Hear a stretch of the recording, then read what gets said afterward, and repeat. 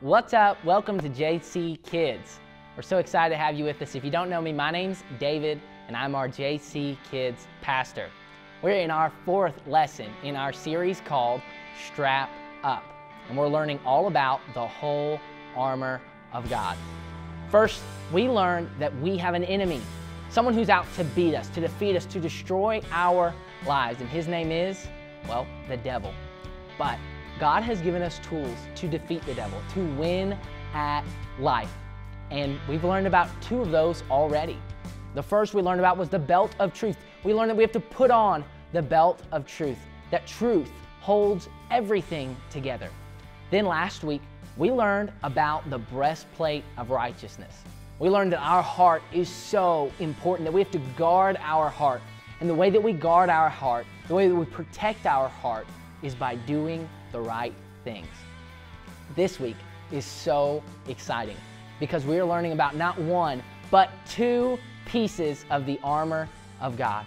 And that brings us to today's super main point. Today's super main point is faith keeps us safe, and God's word is our sword. I want you to say that with me. Are you ready? All right. Faith keeps us safe. God's word is our sword.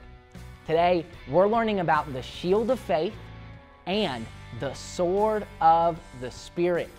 And we have our verse. It comes from our passage in Ephesians chapter 6. Let's check it out. Ephesians 6 16 says, In every situation, take up the shield of faith with which you can extinguish all the flaming arrows of the evil one. Take the helmet of salvation and the sword of the Spirit which is the Word of God.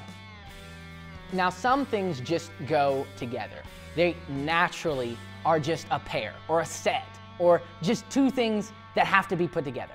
Like, for example, if I were thinking of peanut butter, what would you guess that would go together with that? Jelly. That's right, peanut butter and jelly. Or if I said uh, goes together like cereal and milk. That's right, cereal and milk. Or let's do one more. If I said like uh, pencils, go with paper. Good. So pencils and paper, peanut butter and jelly, cereal and milk. These things just go together. Well, in football, two things that go together are offense and defense. You need them both. You can't have just one. And that's the same thing with the sword of the Spirit and the shield of faith. They go together, just like peanut butter and jelly.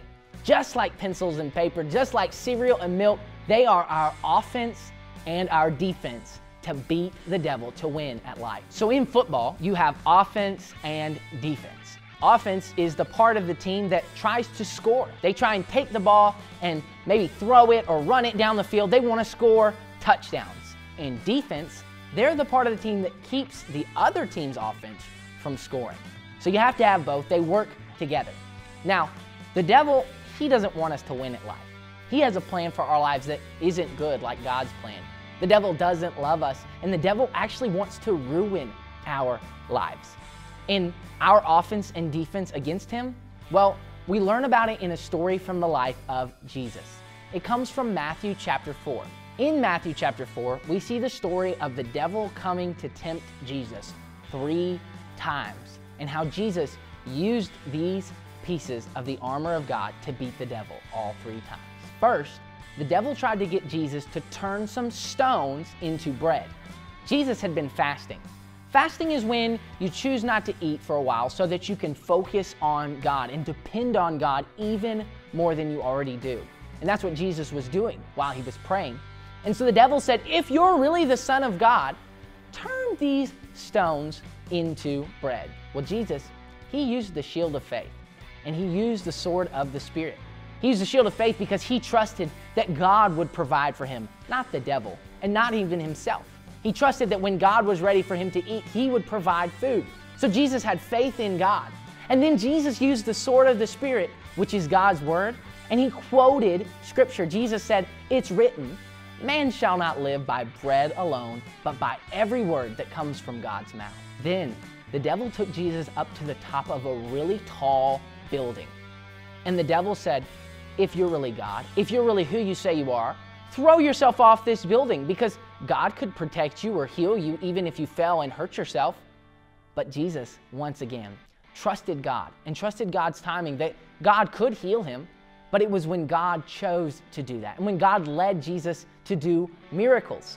So Jesus had faith, and then Jesus again quoted scripture. Jesus said, It's written in the Bible, don't test the Lord your God. Last, the devil took Jesus to a high mountain, and he showed him all the kingdoms of the world. And the devil told Jesus, If you'll only worship me, then I'll give you all these kingdoms. I'll give you the whole world. Well, Jesus, he had faith. He had the shield of faith, and he held up the shield of faith because he knew that in God, Jesus would one day rule the whole world. And so he used the shield of faith and trusted God's plan, not the devil's. And then he used the sword of the Spirit. He said, Go away, Satan. He said, Go away, devil, because it's written to only worship the Lord your God, the one true God. We see in this story three times Jesus was tempted to do wrong. And all three times, Jesus responded with the shield of faith and the sword of the Spirit that's the Word of God. Jesus trusted God, and Jesus trusted God's plan for his life. And he showed that faith when he was tempted by the devil. Jesus used the shield of faith and he stopped the devil from scoring. And then he took the sword of the Spirit, the Word of God, and attacked the devil and beat the devil and scored on the devil. In our lives, we're tempted just like Jesus was.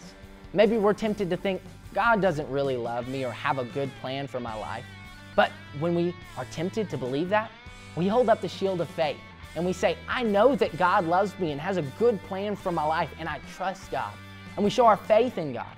And then we use the sword of the Spirit, which is the Word of God, to attack that temptation, attack those thoughts, and say, actually, Scripture, the Bible tells us that God has a plan for me, that He loves me, that before I was even born, God knew me and made me for a purpose. Maybe we're tempted to do something wrong, like tell a lie. Well, in those moments, we can use the shield of faith to say, I trust that telling the truth is always right. I have faith in God's plan that He's going to bless me for telling the truth.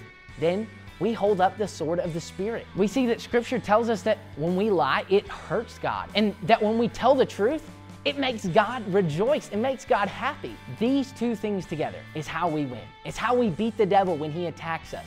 We use our defense, the shield of faith, to, to stop the devil's attacks. And then we use the sword of the Spirit, God's holy word, and we attack back. We go score on the devil and we win at life. Well, thanks so much for checking out JC Kids Online. Before you go, I'd encourage you to check out our family discussion sheet. It's got some questions and some activities you can do together as a family that will help you discuss this lesson.